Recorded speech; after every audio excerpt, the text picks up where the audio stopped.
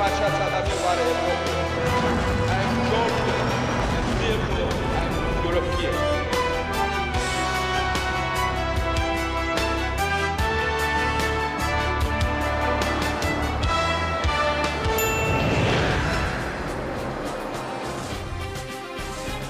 სამომშვიდობისა, ეს არის გადაცემა პოლიტიკა და მე მისი წამყვანი თეონა გეგელია.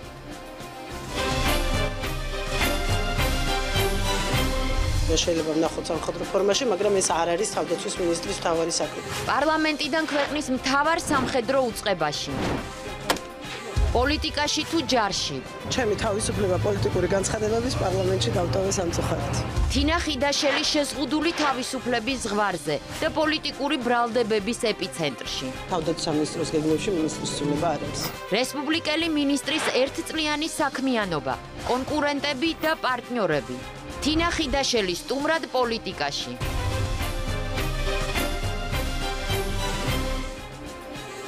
ჩვენ დავბრუნდით პირდაპირ ეთერში თავდაცვის მინისტრი თინა ხიდაშელი არის. ჩვენი სტუმარი საღამო მშვიდობისა საღამო მშვიდობისა და მივესალმები იმედის მაყურებელს. აა მადლობა გადაცემაში მონაწილეობისთვის. როდესაც თქვენი სტუმრობის შესახებ მაყურებელმა გაიგო ჩვენი ანონსიდან ყველაზე მეტი შეკითხვა გაჩნდა სავალდებულო გაწვევის გაუქმებასთან დაკავშირებით.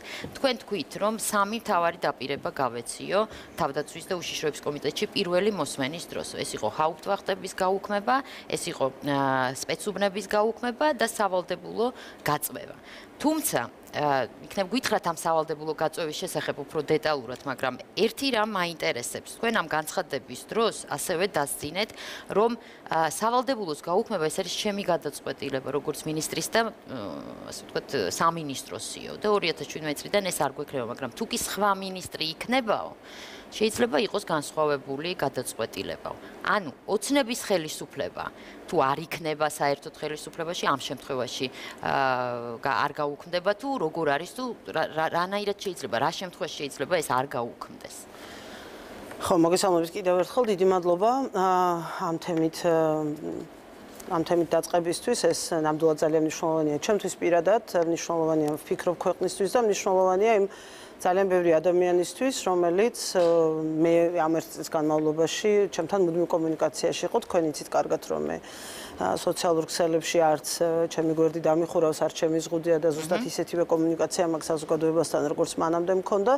ეს რაღაც ერთგვარ წყაროდ მეკცა აი ამ მუდმივად გატესტვის, განწყობების და დამოკიდებულებების და ერთი თემა, რომელიც შემიძლია გამოვარჩიო იმ ბევრ თემათაგან, რომელზეც ადამიანები მიკავშირდებიან, ყველაზე დომინანტი არის სწორედ ეს გაწევების საკითხი.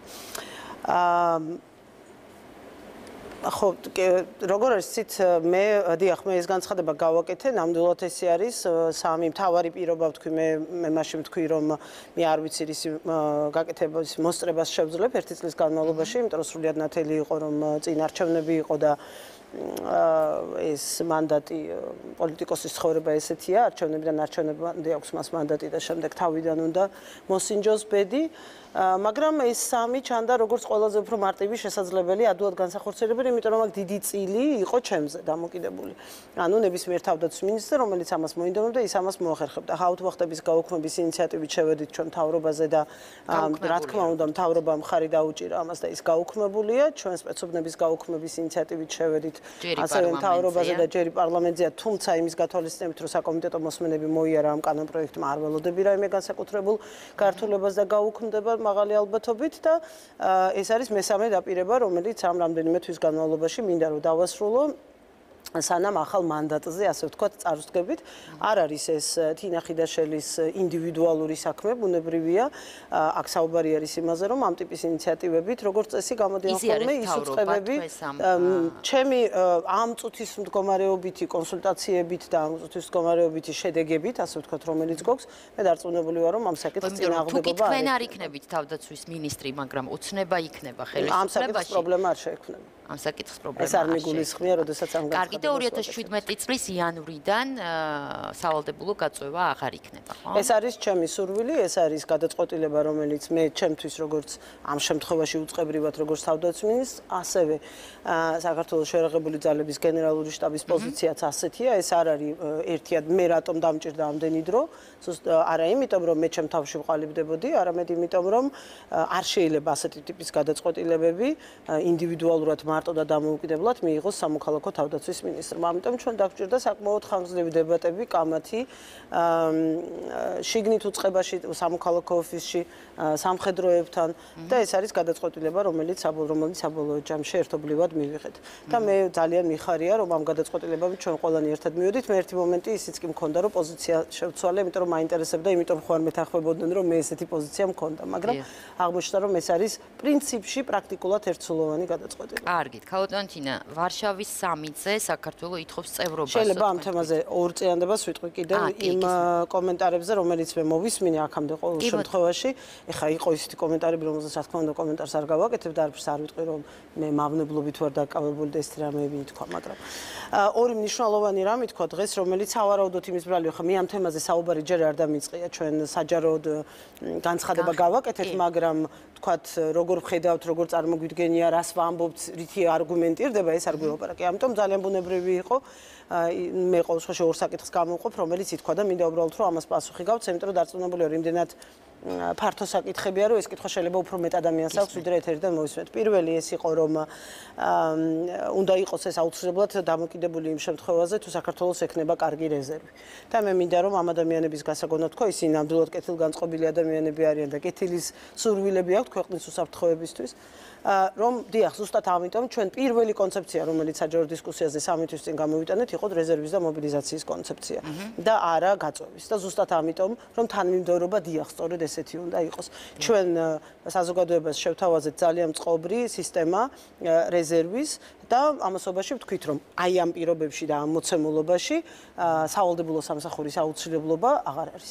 და მეორე საკითხი, ეს ხომ უნდა დაუცილებლად ჩვენ მომხრე ვართ ამის გაუქმების, მაგრამ ეს ხომ არ გამოიწვევს საბიუჯეტო რესურსების ზრდას, რაც საბოლოო ჯამში აისახება იმაზე, რომ თქვათ თავდაცვის არიანობისთვის საჭირო სხვა კომპონენტებს დააკლდება ფული. სრული პასუხისგებლობით ვაცხადებ და მზად ვარ ნებისმიერ ფორმატში საუბრისთვის იმ ადამიანებთან, რომლებსაც გული შესკევას თავდაცვის სისტემაზე და ქვეყნის უსაფრთხოებაზე, რომ ეს რესურსების დასკი არ გამოიწვევს არამედ უფრო ეფექტურად ხარჯვის საშუალებას მოგცემს.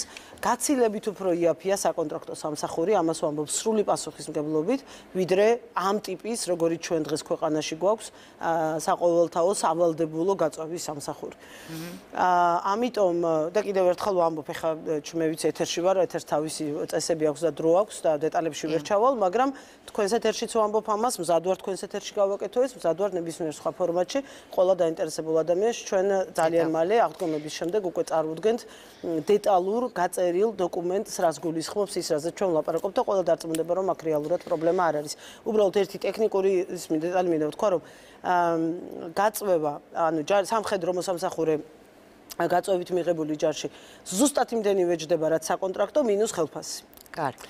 და აი ამ ხელფასის ნაწილს როგორ ვაბალანსებთ, ამას მე მზად ვარ, რომ ეს მოუყოს. აა, კარგი, ეს უფრო ვრცელი თემაა. განხილვის ჩვენ ამის დრო არ გვაქვს. საქართველოს ვარშავის სამიტზე ითხოვს წევრობას. ველოდებით თუ არა წევრობას, ეს გადაწყდება ნატოს 28 ქვეყნის გადაწყვეტილებით. აა, ძალიან მინდა წევრობა ნამდვილად ნატოში, მაგრამ მე ამ სამიტზე წევრობას, წევრობის მიღებას არ ველოდებ. კარგი. რას ჩათვლის ხელისუფლება მთავარ მიღწევად ვარშავის სამიტში? რა ტექსტი უნდა იყოს კომუნიკეში, რომელსაც თქვენ ჩათვლით წარმატებად. მე დღეს ჩემს ესე Facebook-ს დაუბრუნდები. აა იმიტომ რომ მედიაში როგორც წესი არ გეძლევა საშუალება ადამიანს რომ დეტალურად მოყვე ამბავი რამის შესახებ. ვიცი ზუსტად ამიტომ ვამბობ, ამითი ვიწყებ ზუსტად ამიტომ. მე ჩემი ერთგვარი მედია საშუალება შევქმენი ჩემი Facebook-ის გვერდით და ყველა ადამიანს ვინც ამ საკითხს დეტალური პასუხი აინტერესებს, შეუძლია შევიდეს ნახოს და წაიკითხოს. იქ დეტალურად არის ამ კითხვაზე პასუხი გაცემული, სწორედ დღეს დავდე ძალიან გრძელი ახსნა განმარტებითი ტექსტი. დიახ, მე არ ველოდები წევრობას ნატოს სამიტზე ვარშავაში. მე არ მინდა რომ ვინმეს არასწორი მოლოდინი კონდეს, მე არ მინდა რომ ვინმეს იმედები გაუცრუდეს. მე არ მინდა რომ ხელი შეუწყო ირიბად პირდაპირ ჩემი განცხადებით შეუგნებლად შეგნებულად ნიჰილიზმის ზრდას ქვეყანაში. ჩვენ უნდა ძალიან რეალისტები ვიყოთ და უნდა გავშევხედოთ სამყაროს რეალისტის თვალებით. სამყარო არტრიალებს ხოლმე საქართველოს გარშემო და უამრავი გამოწვევების წინაშე დგას დღეს სოფლიო, რომელიც რა თქმა უნდა გავლენას ახდენს ყველა გადაწყვეტილებაზე, მაგრამ როდესაც მე ეს განცხადება გავაკეთე, აქ ძალიან მარტივი კონტექსტია, რასაც მე მუდმივად ვამბობ, უბრალოდ სამწუხაროდ ამ შემთხვევაში გაყვითლდა ეს წინანდება, ანუ სათავეში ამოიტანეს კონტექსტის გარეშე. და მე ვფიქრობ, რომ ეს არ არის სწორი საქციელი. ხელი ზოგადად, როდესაც ასე ექცევი საკუთარი ქვეყნის თავდაცვის უნარიანობას უსაფრთხოების საკითხებს, იმიტომ რომ ყველა სიტყვა მნიშვნელოვანი და საწონ დასაწონია. ჩვენ საუბრობთ იმაზე, რომ 2001 წლიდან მოყოლებული საქართველოს ყველა ღონისძიებაზე, რომელიც ნატოს ფარგლებში იმართება, დია ხელოდება წევრობას, იმიტომ რომ 2001 წელს ჩვენ ვთქვით, რომ გვინდა ვიყოთ ნატოს წევრი. მაგრამ 2015 წელს ჩაიწერა კომუნიკეში, რომ საქართველოს აქვს ყველა ინსტრუმენტი გახდეს ნატოს წევრი. ჩვენ ახლა პოლიტიკურ იღბალზე ვართ დამოკიდებული, რომ ჩვენ დამოკიდებული ვართ კონსენსუსზე 28-ს შორის, რომელიც არ არის. და არ უნდა მოვატყუოთ ერთმანეთი. მაგრამ საქართველოს ნატოს ურთიერთობების, რა თქმა უნდა, მთავარი ამოცანა არის საქართველოს წევრად გახდომა, რა თქმა უნდა, საქართველოს ყველა ხელისუფლების დღემდე და ძალიან დიდი იმედი მაქვს 2016 წლის არჩევნების შემდეგაც ასე დარჩება. მთავარი ამოცანა იყო დაემოკლებინა ეს გზა სურვილსა და რეალურად წევრობას შორის. მაგრამ ამასობაში სინამდვილეში რისთვის გჭირდება ნატოს წევრობა? ასე უნდა დავსვათ საკითხი, როდესაც შენ გაქვს მორიგი ეტაპი გადასალახი და ამ ეტაპზე ეძებს წარმატებას. ჩვენ წარმატება წარმატების ინდიკატორი ჩვენთვის იქნება მეტი თავდაცვის უნარიანობა, ხო? ანუ ქვეყანა გამოვიდეს უფრო უსაფრთხო, ქვეყანას კონდეს უფრო მეტი ხელშასაჭირი, უფრო მეტი ინსტრუმენტი იმისათვის, რომ შეკავების მექანიზმები კონდეს მეტი ნებისმიერი მომხდურის წინააღმდეგ. რა შეიძლება ასეთი მიმიღოთ? ჩვენ მე პირადად თებერვლის მინისტერიალზე წარვადგინე ძალიან გრძელი პუნქტობრივი გეგმა, რომელშიც დეტალურად არის გაწერილი ისეთი პროდუქტები, რომელიც თუ ამას რეალიზება უწერია და თუ ვარშავის სამიტის დეკლარაციის ნაწილი გახდა ეს გეგმა, რა თქმა უნდა, მე საჯარო იქნება და ჩვენ ყველა შეგვეძლება ამაზე საუბარი. ყოველ საქართველოს ყველა მოქალაქის ნებისმიერ ადამიანს, რომელიც ახლა მე მისმენს, არ დაჭirdება ზედმეტი ახსნა, რატომ შეუძლია მას უფრო მშვიდად დაიძინოს იმ დღის შემდეგ. იმიტომ რომ ეს არის ზუსტად იმ საფრთხეებზე პასუხი, იმ გამოწვევებზე პასუხი, იმ ამოცანებზე პასუხი, რომლის წინაშე დღეს საქართველოს დგას. ისევ და ისევ იმ დათქმით, რომ წევრობას არაფერი ანაცვლებს, მაგრამ თუ ჩვენ ვართ რეალისტები და თუ რაღაცა კედელთან არ ვდგავართ და თავს არ ვუწყავთ ამ კედელს კარგი რა დაიწერება? აი რა რა იქნება? ტექსტი იქნება ეს? რა იქნება რითაც ჩვენ ხო ეს ტექსტი იქნება რა თქმა უნდა ეს იქნება დეკლარაცია რომელიც უნდა მიიღოს მინისტერიალმა და რომელშიც უნდა იყოს საუბარი იმაზე რა არის სიახლე ნატო საქართველოს ურთიერთობებში. მე ჩვენ ძალიან ბევრ ამაზე ვისაუბრეთ დღეს გამოქვეყნდა ნატოს გემდივნის მოადგილის ბატონი ვერშბოუს ერთ-ერთი გამოსვლა სოფიაში სულ რამოდენიმე დღის წინ რადგან მანისაუბრო ამაზე ალბათ მე ჩემიზდა უკვე ვისაუბრო ამაზე. ერთ-ერთი მიმართულება, რომელზეც ჩვენ აქტიურად ქმედითად მუშაობთ, ჩვენს პარტნიორებთან, ეს არის შავი ზღვის უსაფრთხოება და ამ შავი ზღვის უსაფრთხოებაში საქართველოს სრულფასოვანი, ხაზგასმით ვამბობ, სრულფასოვანი წევრი სტოლფასი, წევრის ადეკვატური და ეკვივალენტური, ანუ იმ სამი წევრის, რომელიც არის ნატოს წევრი შავ ზღვაზე, რუმინეთი, ბულგარეთი, თურქეთის წევრი თანამონაწილეობა. მაგალითად, ერთი მიმართულება ეს არის ყირიმის შემდეგ, ჩაითვალა, რომ შავი ზღვა გახდა საფრთხის მატარებელი ზღვა, მის მიმართ დამოკიდებულება და კონცეფცია შეიცვალა, ხედვა შეიცვალა და დღეს დადგა ის მომენტი, როდესაც ეს სტატუსი იქნება ჩემთვის პირადად ამას კიდევ ერთხელ ვამბობ, შემდეგ უკვე დაწერილს როცა ვნახავთ, დარწმუნებული ვარ თქვენს დამეთანხმებით, მაგრამ ჩემთვის პირად ერთ-ერთი ყველაზე უფრო მნიშვნელოვანი წინ გადადგმული ნაბიჯი, რაც შეიძლება დღეს ჩვენ მივიღოთ და მეორე მნიშვნელოვანი ამბავი საერთოდ თვისობრივი ზრდა უსაფრთხოების იმ მექანიზმებში, რომელზეც 2015 წლის დეკლარაციაში, როგორც თქვენ თავად სწორად ბრძანეთ, უკვე ჩაიწერა, რომ საქართველოს აქვს საკმარისი ინსტრუმენტები გაწევრიანების გზაზე. მაგრამ ეს არის ინსტრუმენტი არა მხოლოდ გაწევრიანების გზაზე, არამედ რეალური უსაფრთხოების სისტემის შექმნა ერთ კონკრეტულ სეგმენტში, ერთ კონკრეტულ მიმართულებაში, ერთი კონკრეტული გამოწვევის წინაშე, რომლის მიმართაც საქართველოს დღეს შიშველი დგას. კარგით. და ასეთი შეგვიძლია ძალიან ბევრი მაგალითი. კარგით, დაველოდოთ მაშინ ვარშავის სამიტს და ვნახავთ რას წამოვიღებთ ამ ვარშავის სამიტიდან. გაუტონთია თქვენი პარტიის თავმჯდომარე ხათუნა სამნიძემ თქვა, რომ რესპუბლიკელი მინისტრები აგვისტოში დატოვებენ თანამდებობებს, ანუ მხოლოდ ვარშავის სამიტის შემდეგ. იმავდროულად 1 მარტს მაგალითად ეს იყო კოალიციის დეკლარირებულ დაშლამდე, თქვენ ერთ-ერთ ინტერვიუში თქვით, რომ მე საერთოდ ეხლა რომ მკითხოთ, ვერ წარმომიდგენია თავი საარჩევნო სიაშიო.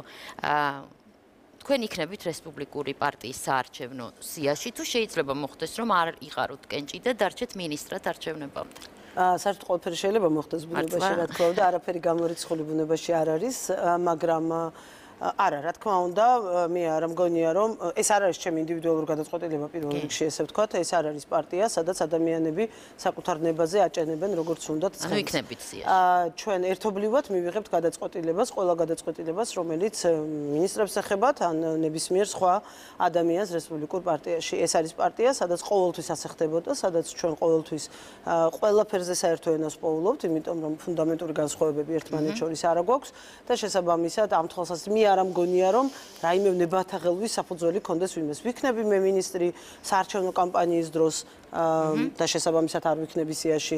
თუ აღარ ვიქნები მინისტრი, შესაბამისად ვიქნები სიაში. ჩემი ამოცანა არის ძალიან მარტივი. მე დღეს ვაკეთებ საქმეს, რომელიც მგონია რომ არის ყველაზე უფრო ალბათობა მნიშვნელოვანი. იმის, რომ თქვენ სიაში იქნებით მაღალია ალბათ, ხო? მასე შეგიძლიათ თქვა. კი, რა თქმა უნდა, ესე შემიძლია. უფრო მაღალია ვიდრე ის, რომ დარჩეთ არჩევნებამდე ministris თანამდებობას. ეს ეს არ არის მარჩეულობის თემა. ეს არის ძალიან კონკრეტული გადაწყვეტილების იქნება კონკრეტული გადაწყვეტილების შედეგი, რომელსაც პარტია მიიღებს ერთობლივად. მე ეს არის ამბავი, სადაც აა ეს ხო ყველა მიცის და საიდუმლო აღარ არის. 2008 წელს მე არ ვიყავი მომხრე პარტიის გასვლის კოალიციიდან, თუ რაც ერქვა მაშინ.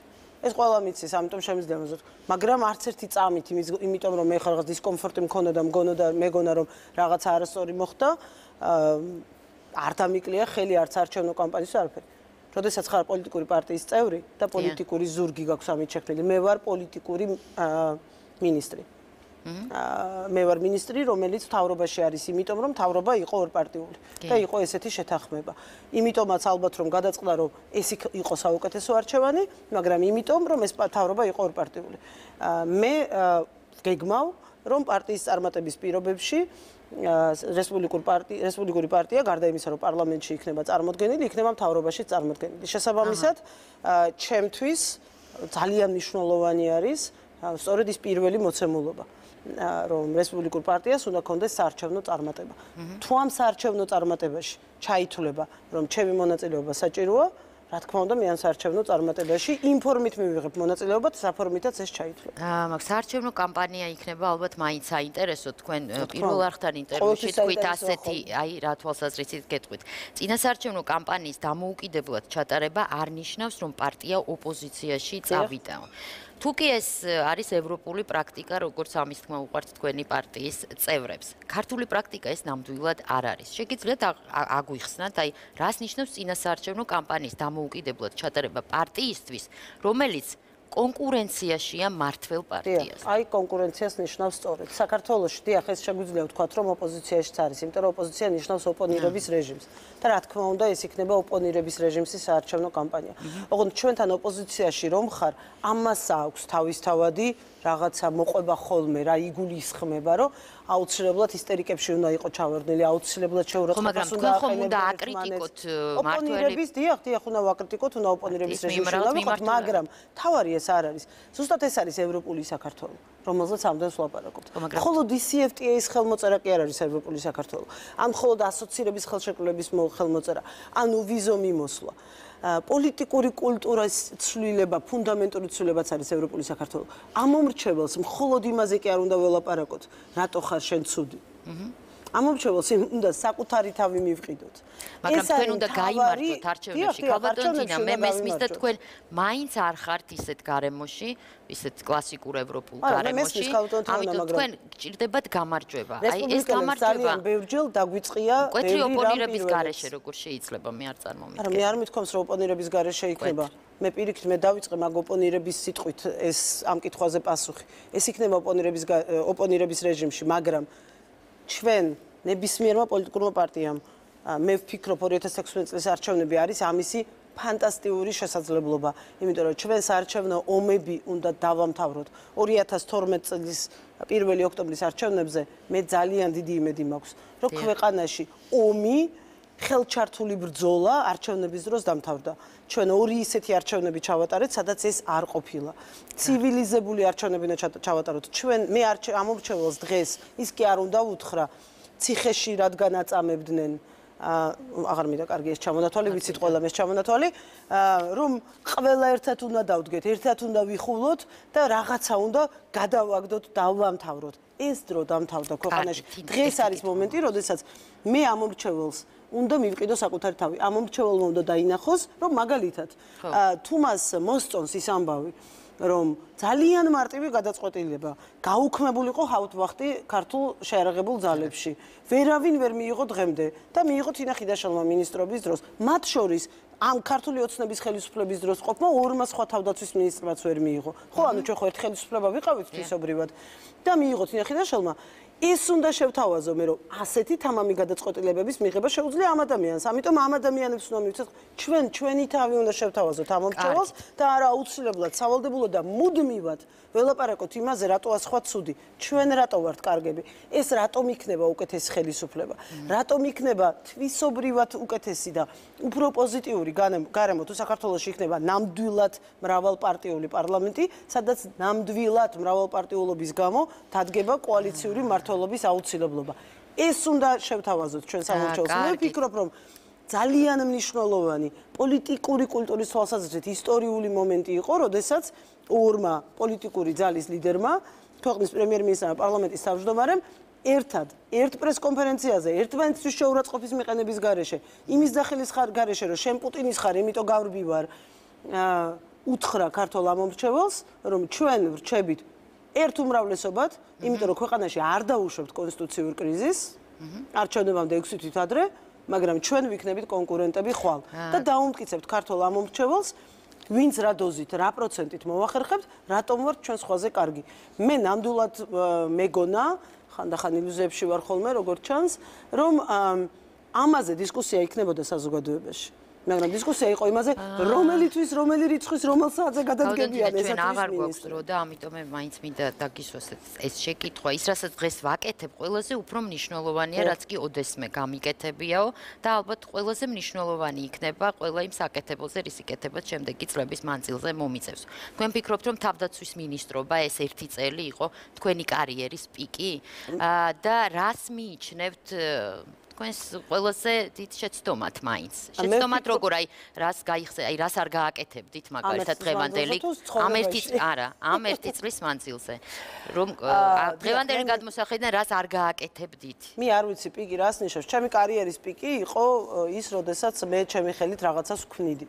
თუ ასე მივუდგებით. მე ვფიქრობ, რომ ჩემი კარიერის პიკი იყო მოდით, რახან დრო არ გვაქვს, დრო არ გვაქვს, იქნები ლაპარაკოთ იმ სუსტ ადგილებზე, რაც თქვენ მიგაჩნიათ, რომ თქვენი სისუსტე იყო. მ ყველაზე დიდი სისუსტე ის იყო, რომ მე იმაზე უფრო მეტი დრო დავკარგე დასაწყისში, ვიდრე უფრო მეტი შეხება რომ მქონოდა ამ სფეროსთან, იმ შემთხვევაში დამჭირდებოდა. ეს იყო ყველაზე დიდი სისუსტე იმ მომენტში. კარგი, დაგიზუსტებთ, მაშინ თქვენ თქვით და ეს ანონსშიც იყო, რომ მე ჩემი პოლიტიკური განცხადებები დავტოვე პარლამენტშიო. თუმცა თქვენ მოგიწიათ შემდეგ მაინც პოლიტიკურში და პოლიტიკურ დავებში ჩაბმა. აი მაგალითად რეპლიკა, ეს კაცი კიდევ პარლამენტშია. თქვენ ხომ მართლით რომ დღევანდელი გადმოსახედიდან ეს რეპლიკა საერთოდ არ იყო აუცილებელი? მე ჩავთვალე რომ თქვენ უფრო პოლიტიკურ საკითხს მოგეთხოვოთ, ეს ეს ადამიანურად მე ასე ვთვლი, ადამიანურად. პოლიტიკურად არა. პოლიტიკურად მე შემეძლო მაშინ გაცილებით უფრო მძიმე განცხადება გამეკეთებინა და ვფიქრობ, რომ სწორიც ვიქნებოდი. მაგრამ ადამიანურად არის რაღაც მომენტები, როდესაც არ უნდა გაბრაზდე. ამას მე ხშირად ვახერხებ, მაგრამ როგორც ჩანს, ხანდახან ვერ ვახერხებ ხოლმე, რომ არ გავბრაზდე. ანუ ამ ზღვარზე გიჭირდათ მაინც ამ ემოციურ ზღვარზე სიარული ამ შეზღუდული თავისუფლების პირობებში. საერთოდ მე ისეთი ცხოვრებით ვიცხოვრე მინისტრობის გასული წლის 1 მაისამდე რომ პოლიტიკური პოლიტიკურად თავი არასდროს შემიზღუდავს. არა, პოლიტიკური განცხადებების შიდა პოლიტიკური ეს ერთი წელი მე მიჭირდა, იმიტომ რომ არის პროფესიები, როდესაც, მაგრამ ზუსტად ეს არის, როცა მე ვთქვი, რომ ამაზე უკეთესი არასდროს არაფერი მიკეთებია და ალბათ ვერც არასდროს ვერ გავაკეთებ თქო. აა ზუსტად ეს არის, რომ ერთ პრინციპულად განსხვავებულ საქმეს ვაკეთებ მე ამ ერთი წლის განმავლობაში. აა და იმდენი რამ დამხვდა გასაკეთებელი, რასაც სიზმარშიც კი ვერ წარმოვიდგენდი, რომ თავდაცვის სამინისტროში ამდენი რამე იქნებოდა გასაკეთებელი. და ისეთი განცდა მაქვს, რომ რაღაცას ჩემი ხელებით იმ გუნდთან ერთად, რომელიც თავდაცვის სამინისტროში გადამხვდა, განსაკუთრებით სამხედროების, ახალგაზრდა სამხედროების სახით, კარგად ვაკეთებთ. ამიტომ პოლიტიკის დრო არ მქონდა მე. და შესაბამისად კი ხანდახან ნოსტალგია გაქვს იმ ამბავზე, რომელიც რომელიც გიცხოვრია ამდენი ხანი. ვერ ჩამითრიეს. მე ამას არ ვიზიარებ. დრამატულად არა, მაგრამ ნებისმიერი მინისტრი არის პოლიტიკოსი. ნებისმიერი მინისტრი ნებისმიერ დემოკრატიულ ქვეყანაში არის პოლიტიკოსი. რამდენიც არ უნდა იძახოს ვინმე, რომ ის არ არის პოლიტიკოსი, მე- ეს არ არის მე- სიმართლე, მე მაგრამ თქვენს რეპლიკაზე თავდაცვის გამ- მინისტრის გამოვეხმაურე. ა, ა, პრობლემა შეზღუდვა თუ რა ვიცი რაც გნებავთ ის თქვა ის არის რომ ისეთ სფეროში ხარ სადაც ბევრ რამეზე ხმამაღლა ვერ ლაპარაკობ. თორემ იცით რამდენი რამ მაქვს სათქმელი იმ უსინდისო განცხადებებზე რომელიც მომისმენია უსაფუძვლო კრიტიკაზე რომელიც მომისმენია. მესმის, მაგრამ ასეთია- თავდაცვის ასეთია სფეროს პოლიტიკოსის კი ოღონდ პოლიტიკოსი როცა ხარ სხვაგან პასუხს წემ და ადამიანების გარკვეული ჯგუფი რომელმაც ზუსტად იცის რომ პასუხს ვერ გავცემ იმიტომ რომ ძალიან მაღალი პასუხისგებლობა მაკისრია მათ შორის სახელმწიფო საიდუმლოებიდან და ქვეყნის საფრთხეებიდან გამომდინარე ამას ბოროტად იყენებს აქ ამაზეა მხოლოდ საუბარი თორე გასაგებია. მე რო ეხა სოფლის მეურნეობის მინისტრი ვიყო და იქ მაკრიტიკებდნენ დარწმუნებთ რომ ეს სრულიად სხვა გვარი დებატი იქნება წინ არის ვარშავის სამიტი, თქვენ მინისტრი იქნებით კიდევ რამდენიმე თვე, ალბათ მინიმუმ. მე იმედი მაქვს, მართალია თქვით, რომ სამი თვე არ ვიქნებიო ქვეყანაში და ვერ არა, შეხვდებით არ ჟურნალისტებს. მაგრამ მე იმედს ვიტოვებ, რომ თქვენ ვიქნები. შეხვდებით მინისტრის რანგში ან შემდეგ მომავალში აუცილებლად. დიდი მადლობა. კი, დიდი მადლობა. თინა ხიდაშელი თავდაცვის მინისტრი იყო ჩვენი სტუმარი, ახლა რეკლამა